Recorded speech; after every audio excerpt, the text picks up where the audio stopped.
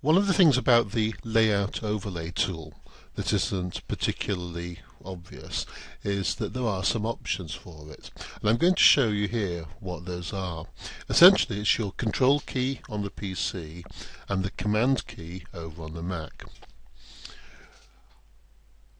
Under the view menu you enable the overlay by first choosing an image and here I'm going to pick this one called Vincent.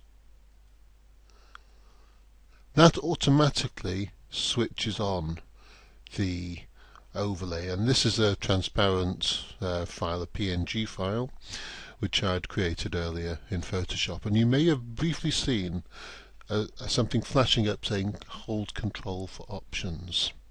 And that's going to be the key to this. Hold the control key or the command key if you're on the Mac.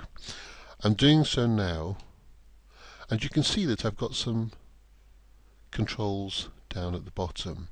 If, for example, I want to completely hide the rest of the image or display it much more obviously, I can do so by changing the matte value and I can do the same sort of thing with my uh, transparency itself, my uh, layout.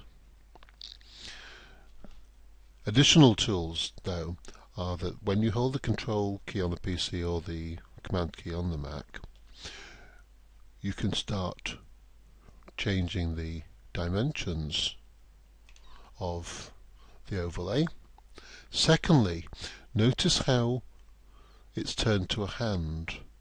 That means I can move it around. So effectively I'm cropping on the fly. And at some stage you might then want to reset it to how it was originally.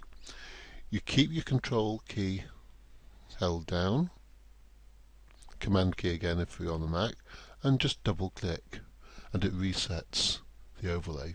Those options aren't very obvious, but I think they're really worth knowing.